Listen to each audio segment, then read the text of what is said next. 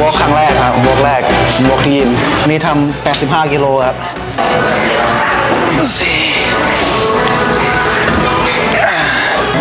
อันนี้เรียกว่าเลกเพรสชื่อว่าเลกเพรสทำขา ขาข้างบน แล้วก็ตูด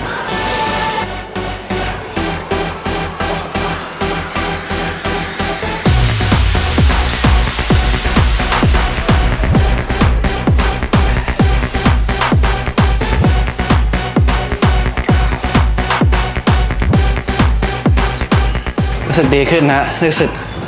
รู้สึกสดชื่น เราออกกำลังกายเป้าหมายก็คือทำให้กล้ามเนื้อมันฉีก ฉีกแล้วมันก็ฉีกเราก็กินโปรตีนให้มันซ่อมแซมมันก็ใหญ่ขึ้นแค่นี้นะออกยิมก็ประมาณ 6 ครั้งมั้งห้าหกครั้งต่ออาทิตย์ไม่ค่อยมีอะไรทำอะก็ออกกำลังกายให้หุ่นดี